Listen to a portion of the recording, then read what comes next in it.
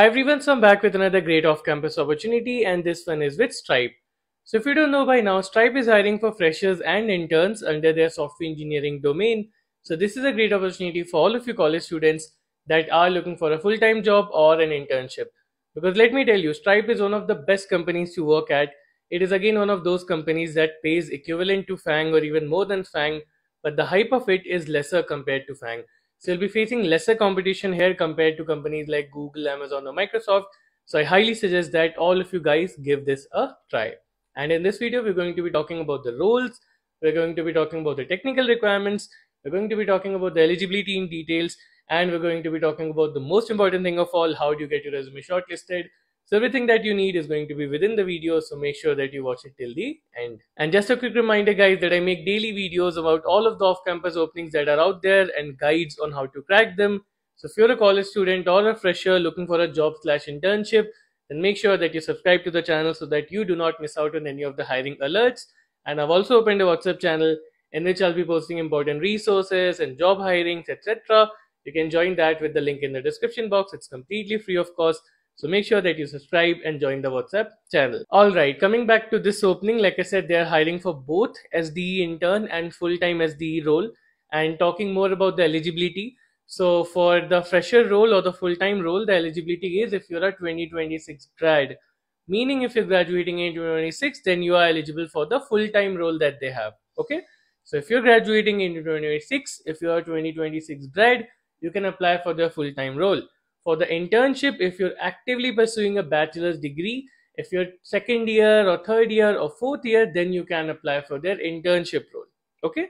So that is the eligibility. For fresher if you're a 2026 grad you can apply. And for intern if you're in your third year final year or second year you can apply. That is the eligibility. Now talking about the degree in details so they haven't mentioned any specific degree.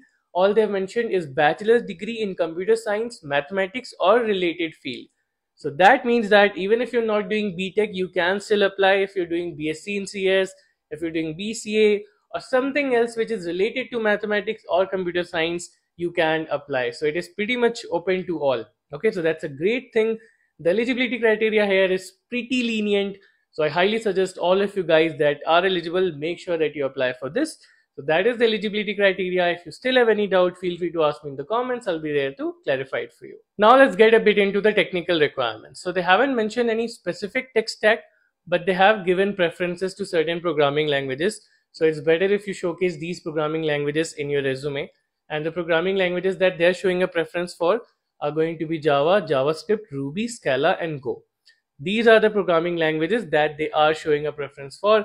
So I highly suggest that you have one of these programming languages in your resume so that it'll give you a good edge above candidates who don't have, right? And of course, I understand that Scala, Go, and Ruby are languages that you may not be much into, especially in college. We're not aware of these languages. We don't work with these languages because they're not as popular as Java, Python, C, C++ for college students specifically, right? So it's not important that you have all of them, like I said even if you know Java, put it in your resume. Even if you know JavaScript, put it in your resume. And of course, out of Scala, Go and Ruby, if you have any of them, that will also give you a good edge. But it's not mandatory, right? If you have Java or JavaScript related technology or Java, JavaScript in your resume, that is also pretty good. But you need to have at least one of these five aforementioned programming languages that will give you a bit of an edge. Okay. Going deeper into the technical requirements or going deeper into what you need to have in your resume, to basically increase your chances of getting shortlisted. First let's talk about the basics right? Because people keep getting worried about basics what is ats how do we improve ats and all of these things. So of course for a company like stripe or any other similar company to get your resume shortlisted you need to have a good ats friendly resume. Because before a human looks at your resume it's going to get passed through ats it's going to get passed through their system and if it gets a low score there it is going to end up getting rejected. So how do you improve your ats score? Or a better question how do you even check your ats score? So what i'll be doing i'll be giving you two websites in the description box. You can use those websites to check your ats score. And the goal here is to have a ats score of minimum 80% okay bare minimum it should be 80% it should not go below that. Of course the more it is the better it is. But at a minimum it should not go below 80% or below 75% that is like a safe spot that you need to be. Below that, your resume is going to see a lot of rejections. So you need to make sure that your ATS score is good. Now, of course, the next question you might be asking, but how do we improve our ATS score? We know how to check it. How do we improve it?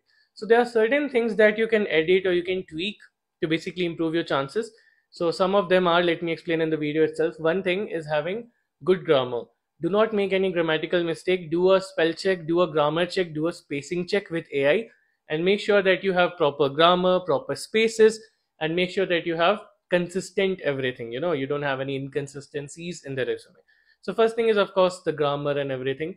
The second thing is using basically only the necessary information in the resume a lot of people keep a lot of unnecessary things they talk a lot about their hobbies they talk about achievements which are not related to the fields that they're applying for so if you put those things that will again bring down the ats score another thing that is important is having a parse friendly resume so your resume's template should be parse friendly it should not be difficult to parse for the ats score so for that you can just use one of the templates in the description box i've given a great template you can just pretty much use it edit it and then work with it right so these are some points. You can find a few more points. You just check your ATS score. You'll be able to get a good idea because the website itself will tell you that these are the things that you need to work on, right? Like using different verbs, not having repetitive action items, having bullet points. All these things will help you in improving your ATS score. Now, after your ATS score is good, you have a perfect resume template, you have a great ATS score. After all of these things are done, of course, the next thing that matters is the content of your resume. So I've repeated this in all of my videos. You need to have high quality projects in your resume. For this role specifically, if you have any tech stacks or projects related to the programming languages that I mentioned, if you have any Ruby related projects, if you have any Go related projects, if you have any Java or JavaScript related tech stacks, showcase that in your resume. Okay, if you've worked with these stacks in any project, showcase that in your resume. But you need to make sure that the qualities of your projects are high. It's not any single page project it's not a clone project you need to make sure it's a high quality project and the best thing that you can do for your project is deploy it somewhere so give two links the deployed link and the github link so you need to put the deployed link of your uh, code your project it should be deployed somewhere either on vercel netlify any place you can and the other thing is of course give the github link to your project. And make sure that your project is a bit high quality. It's a bit unique. It's a bit complex. It's not just a single page clone project or something like that. Okay because of course your projects are the most important thing if you're a fresher or if you're looking for an internship.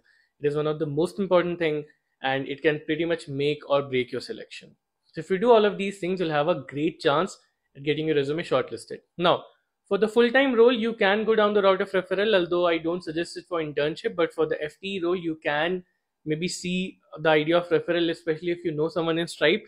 And even if you don't know it's fine. You can just find employees and then message them for referral. It's not very hard to do.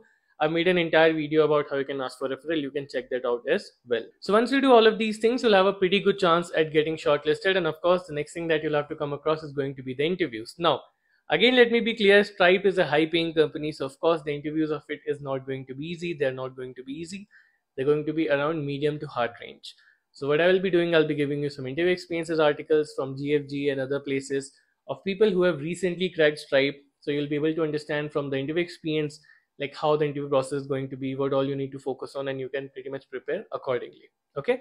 So that's pretty much it. Go and have a look at the description box for more details about everything that we've talked about and prepare a proper resume and apply ASAP. Okay, the link to apply is of course in the description box. Apply ASAP and make sure that you subscribe and watch out for more videos because right now is the peak time for hiring and you will be seeing a lot of hirings coming soon. So yeah, make sure you subscribe and stay tuned for the next video.